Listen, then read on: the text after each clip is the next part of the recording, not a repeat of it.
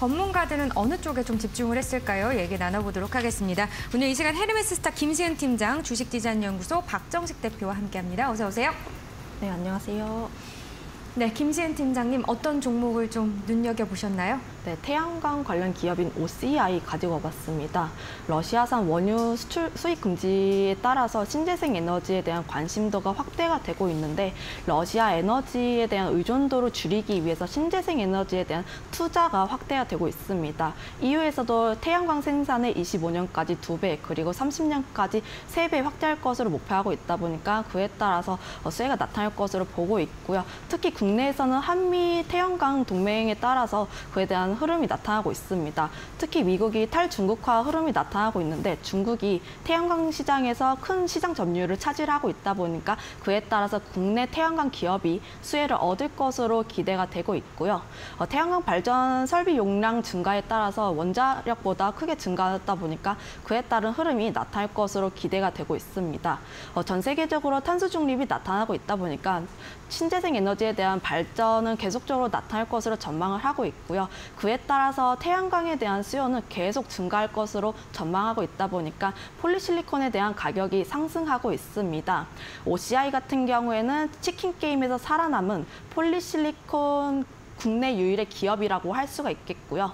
폴리실리콘 가격 상승에 따라서 수혜를 얻을 것으로 기대가 되고 있습니다. 아무래도 폴리실리콘 사업 같은 경우에는 손익분기점이 7kg당 7에서 8달러인데 이달 폴리실리콘 가격이 약 32달러이다 보니까 그 수혜를 얻을 것으로 기대가 되고 있고요. 어, 그 예로 정제 마진을 한번 들어볼 수가 있겠는데 정유주 같은 경우에도 정제 마진에 대한 손익분기점이 낮지만 정유주 같은 경우에는 110달러 선을 넘다 넘다 보니까 역대 최대 실적을 달성할 것으로 예상이 되고 있다.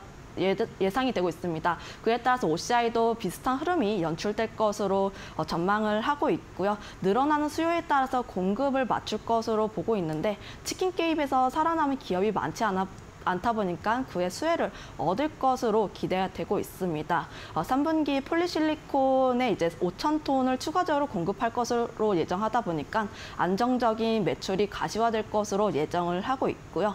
러시아 에너지 문제로 인해서 신재생 에너지 에 대한 문제가 가시화가 되고 있다 보니까 그에 따라서 빠르게 신재, 신재생 에너지에 대한 중장기적인 기대가 나타나고 있다 보니까 원자력뿐만 아니라 뭐 OCI 같은 태양광 그리고 풍력 관련주 관심 있게 보시면 좋을 것 같다는 말씀 드리겠습니다. 네, OCI 짚어주셨습니다. 자, 그렇다면 두 번째 종목도 함께 알아보겠습니다. 박정식 대표님.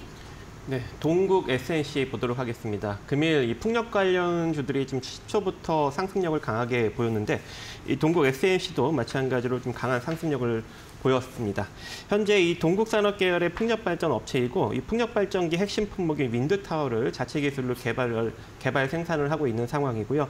전남 신안군 앞바다의 16만, 16만 가구에 대한 이 전기 공급이 가능한 200메가와트급 풍력 해산 풍력 단지를 건설을 하였습니다. 그래서 오늘 어, 상당히 많이 부각을 받은 상황인데 역시나 지금 EU에서 러시아 에너지를 좀 벗어나려고 원전과 그리고 풍력 발전을 집중적으로 좀 육성하려는 의지가 내비쳐지고 있기 때문에 이런 신재생 에너지 관련 주들이 최근 태양광부터 풍력 발전까지 부각을 받는 것이 아닌가라고 보여집니다.